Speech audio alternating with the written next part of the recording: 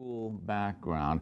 And then they'd come back with a warm uh, color and just spot it in here and there. That was called broken color. It's a good impressionistic trick, and it also gives a, a vibrancy to the uh, painting. Well, you see, oftentimes at the horizon line, the clouds and the mist do appear to be a bit warmer. Okay, that's probably enough for now. Then I'll take my hazing brush, you know, old cheapo here, clean and dry. Just knock the edges off. I was going to say knock the socks off, but uh, I think some of you might not know what I mean by that.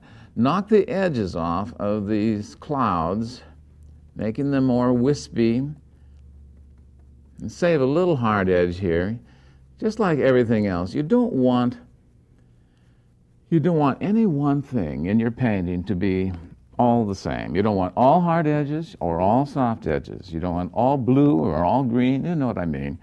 You need that variety. That's what gives you contrast.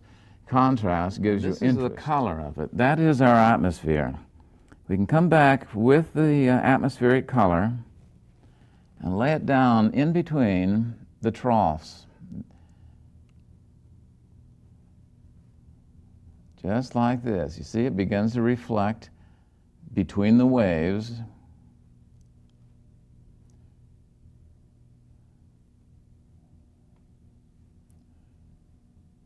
And I allow the shape of this well to remain the same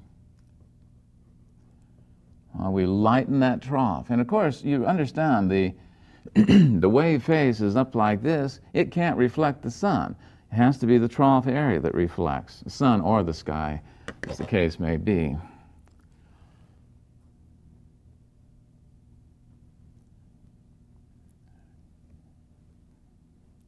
Okay, now let's go back with something else. back to our pure color. Let's go to the cerulean blue and a little bit of the viridian, a little touch of ultramarine to darken it. All I want to do is just put in a few dark chops on the face of this particular swell. So it isn't all flat like the background. You know, in other words, up close you, you see more than you would otherwise.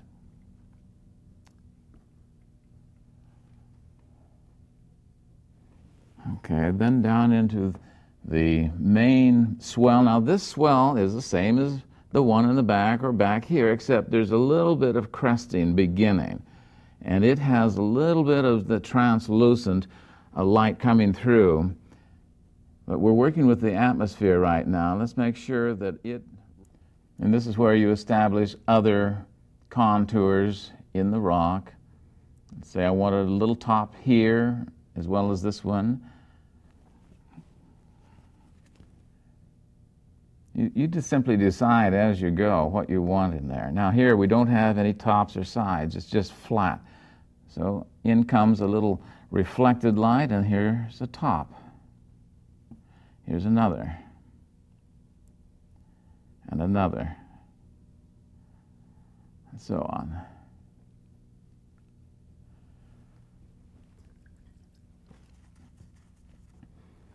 Well, the next thing would be to add the sunlight. Now, we've established that this is a, a, a, stormy day, but sunlight breaking through, and it's coming from this direction. And for now, I'll use this brush, but pretty soon I'll use a very small brush. Just establish it's coming from this direction, and it maybe strikes back up out at sea here just a little bit. And then bounces off of this wave a little bit in here, and then it strikes our major wave right along in here, hitting the edge.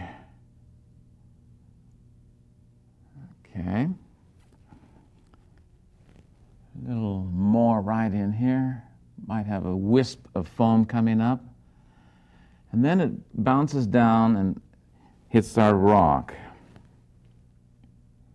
Let's have it strong right in here. This is where you focus. And you look at this painting, you'll focus right into here, and then it will lead you back to the wave. So we give something to focus on sunlight on this water.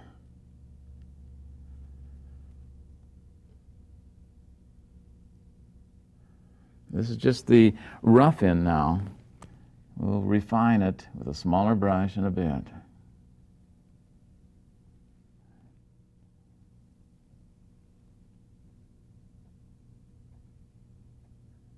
There we go. Probably enough for now. We'll texture it later with cracks and crevices, small brushwork. Right now, I think we're ready to refine the wave.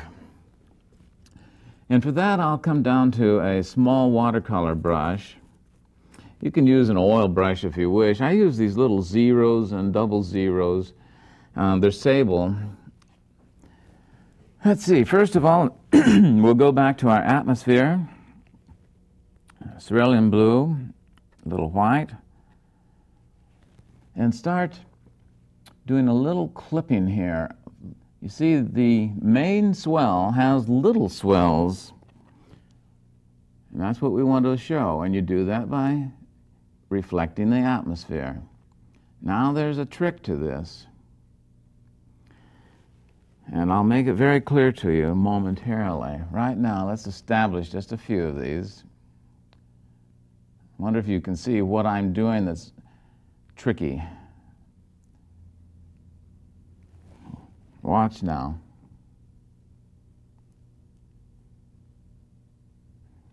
Can you spot it? Okay, let me show you what I mean.